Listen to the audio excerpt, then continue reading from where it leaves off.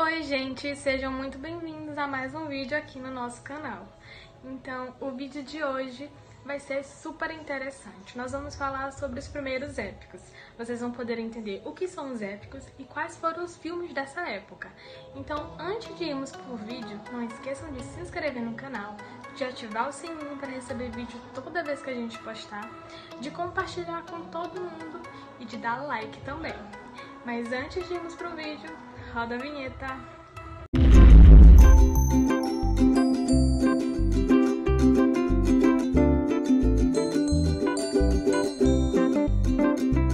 As origens do cinema épico se encontram na Europa, mais precisamente ali na Itália. Vocês sabem de onde os cineastas tiravam suas inspirações, mais precisamente ali no ano de 1912? Bom, eles buscavam suas inspirações a partir do passado clássico de seus pais para realizar filmes visualmente extravagantes e com dimensões operísticas.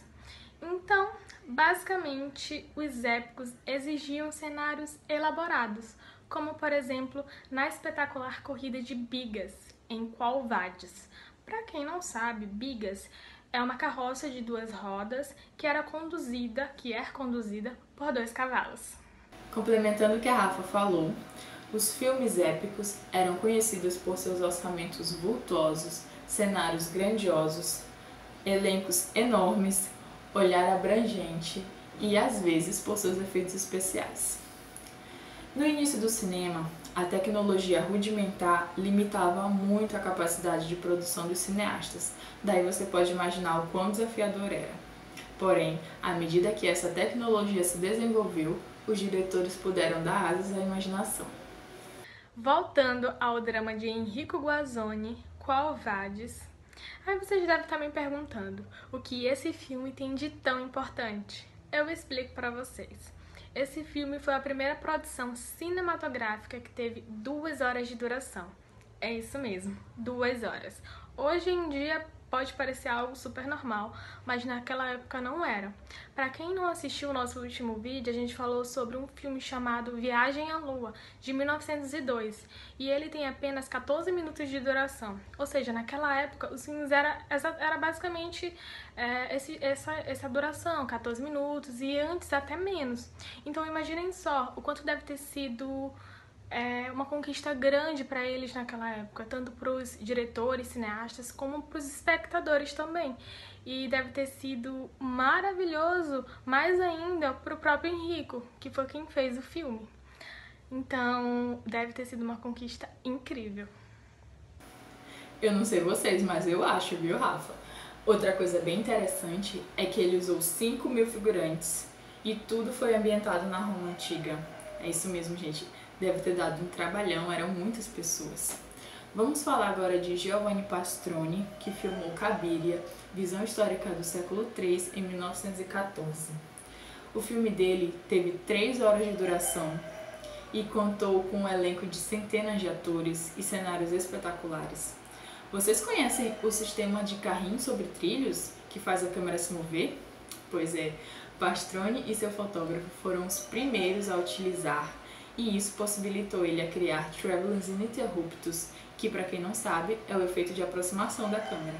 Quando a Primeira Guerra estourou, em 1914, o desenvolvimento da indústria cinematográfica foi interrompida.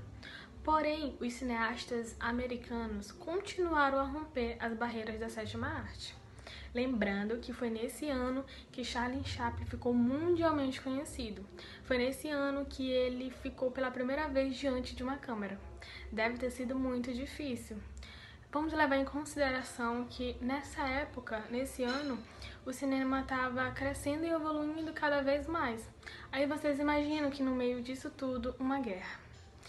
Bom, eu imagino que os cineastas estavam super empolgados, então eles não quiseram parar continuaram a romper esse, essas barreiras.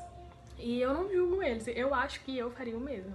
Então eu acredito que por conta dessa empolgação que eu imagino que eles tiveram, é, eles continuaram, não pararam. David Griffith dirigiu uma saga sobre a Guerra Civil Americana, O Nascimento de uma Nação. Foi uma obra totalmente inovadora por seu estilo técnico e narrativo. Mas sabe o que aconteceu? Os Estados Unidos não sofreram com os acontecimentos da Europa, e o objetivo do filme era mostrar a guerra como algo abominável. Então, os diretores estudaram o tema mais a fundo, com obras pacifistas, como o alegórico Civilização de Thomas Ince. Thomas Ince percebeu que ele precisava de um local para filmar suas longas metragens, com sets, ele ia precisar de objetos cênicos, camarins, cenários grandiosos. E foi aí que ele teve a brilhante ideia de criar o primeiro estúdio que se tem notícia, a Incivil. E adivinha só, foi lá que ele filmou Civilização. Thomas Ince foi um titã, ou seja, uma pessoa extraordinária no início da indústria cinematográfica, pois ele ajudou a definir o papel do diretor e do diretor executivo no cinema. Ele também ajudou a desenvolver o sistema de estúdio em Hollywood e se tornou cofundador da primeira grande produtora independente hollywoodiana, a Triangle Motion Picture Company, em 1915.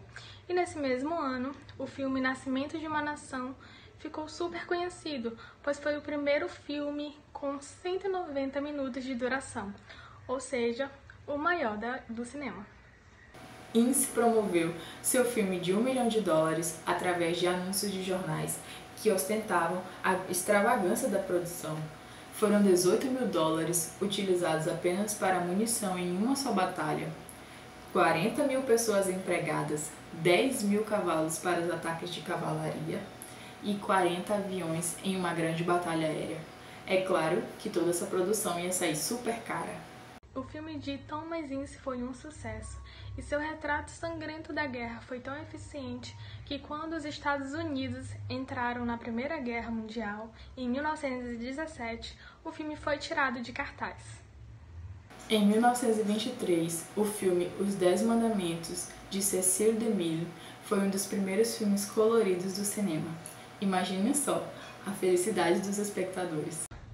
Fritz Lang produziu o filme Nibelungos. A sua produção teve cenários fantásticos, cenas de batalhas coreografadas e criaturas mitológicas. No entanto, o tema do vídeo foi a Primeira Guerra, que se tornou o maior sucesso de bilheteria da era do cinema mudo. Os filmes de Fritz Lang, Nibelungos, A Morte de Siegfried e Os Nibelungos, A Vingança de Kriemhild, ambos de 1924, foram criados baseados no poema do século XIII sobre o guerreiro teutônico Siegfried. Por fim, em 1927 é lançado o filme Rei dos Reis, de Cecil DeMille. É um filme que conta sobre a vida de Cristo e conta com milhares de figurantes. Lembrando que foi nesse ano de 1927 que a era do cinema mudo chegou ao fim. E é isso, gente. Esse foi o vídeo de hoje. A gente espera muito que vocês tenham gostado. E não esqueça que vocês também podem deixar sugestões sobre temas aqui nos comentários, tá bom? Um beijo, compartilha o vídeo, curte, se inscreve no canal e segue a gente nas redes sociais também. Tchau!